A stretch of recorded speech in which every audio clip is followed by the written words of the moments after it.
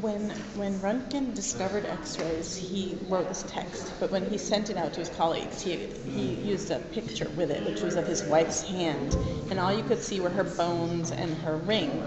And these are actually um, sort of takeoffs on that. That picture came to symbolize X-rays. The hand was easy to X-ray because it's flat, um, so the rays passed through it pretty quickly. They didn't, they hadn't quite figured out how to focus them at that point, so they needed things that weren't very thick. It became actually fashionable to have your X-ray portrait taken of your hand. And this is uh, Tsar Nicholas II and his wife Alexandra, who summoned a doctor to the Winter Palace to have their portraits taken. Many of the people who made the pictures in, in the year following X-rays inventions were photographers, actually, because it was pretty easy to make uh, X-rays. By March of 1896, so three months after they're made public, you could order a commercial X-ray kit.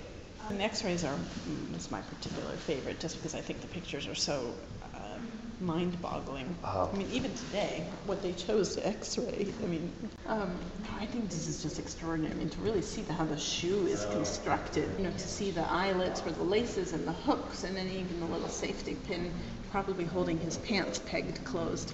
Think about this idea that you can make photographs of invisible bones, and and this idea that you're surrounded by this electromagnetic radiation. I mean, what's so strange about thinking there are other invisible things